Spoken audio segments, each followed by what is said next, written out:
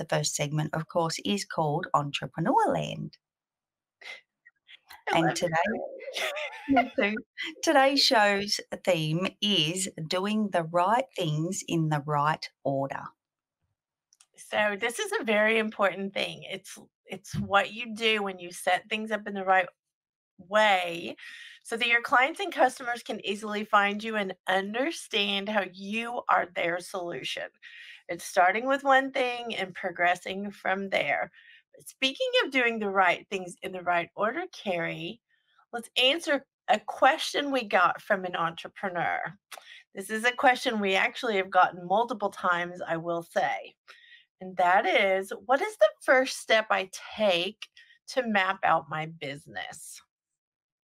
Oh, that's such a great question, Kim. Could I kick this off and be a little bit selfish? And can I think about what I want first, Kim?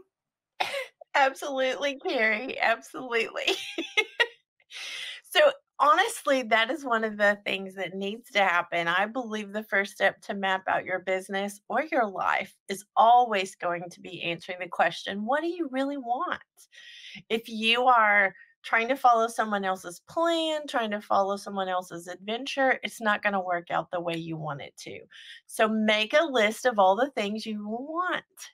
Big W A N T. It's not a four letter word, even though it's a four letter word.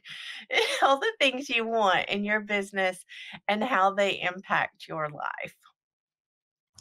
And Kim, I think we should do another thing in the right order and let's talk about an up and coming holiday because Tuesday, the 9th of January, so this coming Tuesday, is National Word Nerd Day.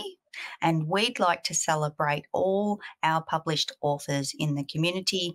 And if you want to find out more about those, you can actually head over to the shop on the My Sexy Business website and we don't actually get a commission from the book sales on there, by the way. We just have to say that out loud. We just like to highlight those that have published books from our community. So we encourage anyone that's a little bit curious about that to head over to the My Sexy Business website and have a have a look at what's in the shop. They've done a lot of hard work, Kerry, including you, and I want to make sure that everybody knows you need to go check it out.